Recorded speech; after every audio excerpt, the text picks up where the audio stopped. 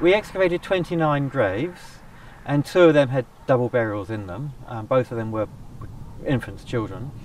Um, so we found the, the, people, and also we found the, the coffins, the remains of the coffins, and um, all the coffin furniture, which relates, of course, to the Victorian funerary traditions and um, how funerals were carried out, Victorian attitude towards death, and also the way these traditions are carried over from England to New Zealand. And we found very strong evidence that the, the funerals here in sunny Milton were in some ways very similar to those in England.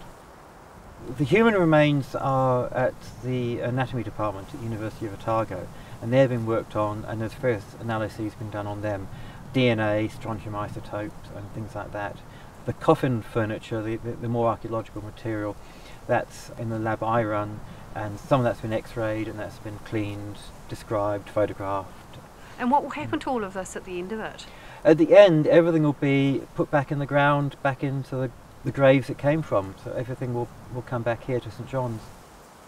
Uh, we know that there was very high infant mortality. We, we did find a lot of um, children and infants. So, you know, for parents that would have been very tough. Um, we know that some people had tuberculosis. There was, you know, sickness in, in the community, which was probably quite common at the time. Um, dental health was very bad, so people would have you know, been in pain quite a lot of the time um, from their teeth.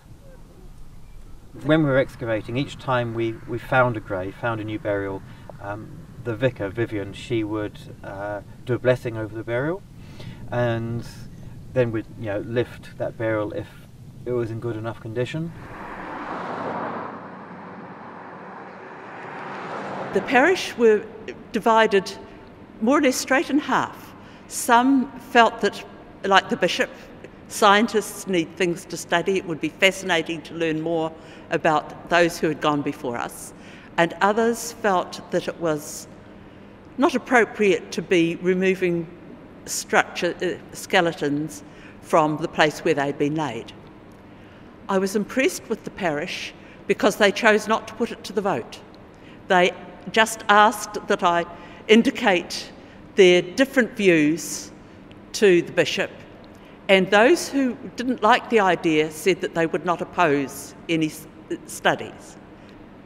Come November, when the investigation, the digging actually started, Bishop Kelvin and somebody from the marae at Otakou blessed the ground, and it was arranged that whenever material was to be removed, I would go up and give thanks for the life of the person who was to be removed, to remember those who had carried this person to that site and to bless the, those who were working there.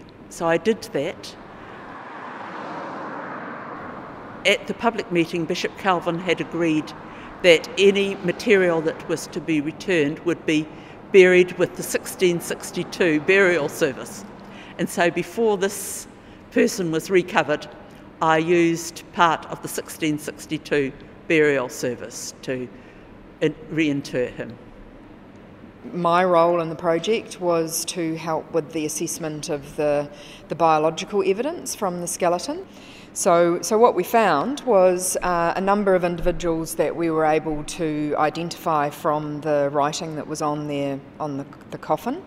So what we had there is a very unique situation where we had the, the social history of the person because we knew um, their, their age, their sex, what they died of, um, something about their history and then we are also able to put the biological history on top of that. So then be able to say um, how tall the person was, what sort of work they might have done, uh, whether they smoked a pipe, or um, or uh, if there was evidence in their bones of having had given birth, for example.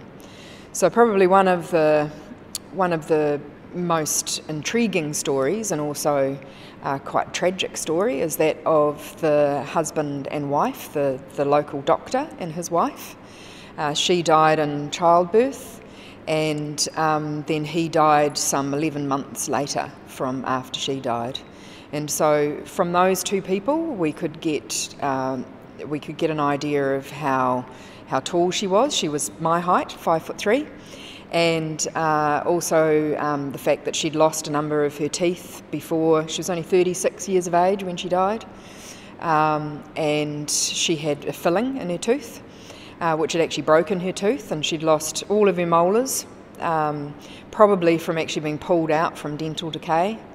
Uh, her husband, the doctor, he had lost some of his teeth, but he also had a gold filling, which is something which is, you know, shows that they had uh, a different social standing to the other people.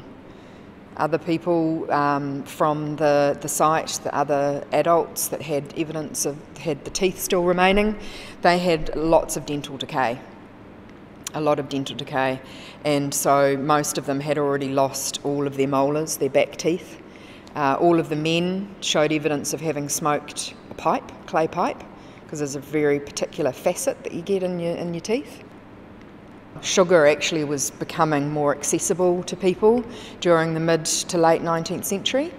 And so we're sort of starting to see the initial scourge of, of sugar and what it does to people's dental health and so forth. And for many of these people who lived and died here as adults in Milton were actually born elsewhere and had actually been born in the UK. Um, and, and a lot of them coming from an urban life to a rural life. So this is one of the things that we are investigating is looking at the difference in their diet as children, which we can see from the teeth, and then the evidence of the diet from um, the last 10 or 15 years of their life. And one of the things that's really special about this project is that we are looking at people who are living in a semi rural environment. These are people who came to start breaking in the land, you know, four of the first farms in this area you know, so, and they came from the cities.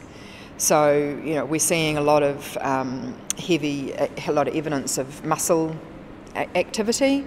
We're seeing a lot of evidence of trauma, of fractures. Um, amongst the children, um, we had a number of young babies and young children. Um, their uh, um, we were able to get reasonable estimates of age of those children and match them up to uh, the historical records. We've been able to do that in um, two or three cases. And one story was a, um, a two sisters who died on the same day of whooping cough. So this is a disease which today is, you know, almost eradicated, um, but was a, a, a, really serious illness in, in the mid 19th century. And in that case, those children died. And there's also cases of children, young children dying um, from accidental drownings. So it, it, would have been a hard life. Um, now, whether that's better than the life they would have had in England, that's a that's a much more difficult question to answer, and that will really come down to a lot of comparative work with um, you know, material that's been excavated in England and English studies. So I think it was it was a tough life. The, the, you know, opening up a you know a new world, as it were, would have been hard work, and these people you know had it tough.